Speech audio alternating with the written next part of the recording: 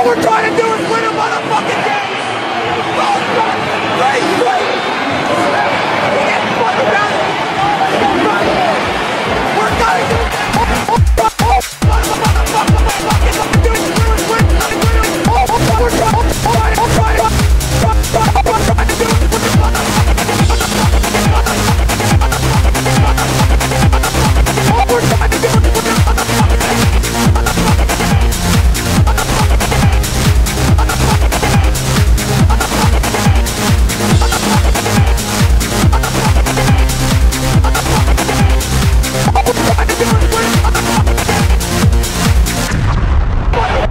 Josh McDaniels pretty livid at his ball club.